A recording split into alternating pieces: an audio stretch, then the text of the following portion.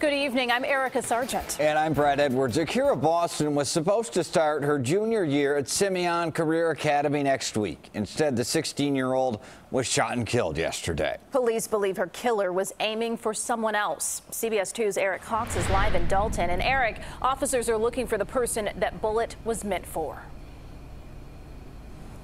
Good evening, Erica and Brad. That is exactly right. A village trustee tells me that the person Akeira was with Tuesday night lied to detectives, telling them he didn't know her.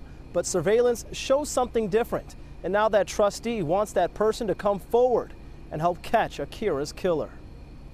She was never the target. Never the target, and now no longer here. Balloons floating towards the sky, some pink, others white. Every kind conveying feelings of hurt as they soar higher. It hurts. It's like a gut wrenching hurt, too. Daryl Smith is Akeira Boston's stepfather.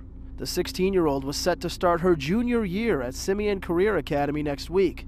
Instead, a couple hundred people huddled together outside the school in her honor Wednesday. She was shot twice while sitting in a parked car outside this Dolton convenience store the night before. I was just praying and hoping that it wasn't true. The teen later died in the hospital. Village of Dolton trustee Andrew Holmes tells CBS 2 the bullets weren't meant for Akeira, but the boy she was at the store with.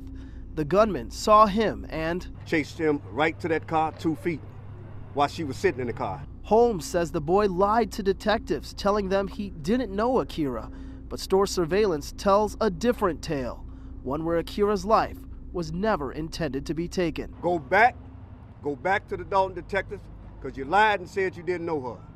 Go back to the dog detectives, turn yourself in, give them the information on who that shooter was shooting at you because this baby was never the target. I asked for a copy of their surveillance, but detectives tell me they're still working to pursue a few leads before deciding to release that. Furthermore, Holmes says that minutes before this shooting, the village board meeting had just let out trustees Uh, approving the funding for the hiring of 15 additional police officers. I'm live in Dolton tonight. Eric Cox, CBS 2 News. Brad? Eric, thank you.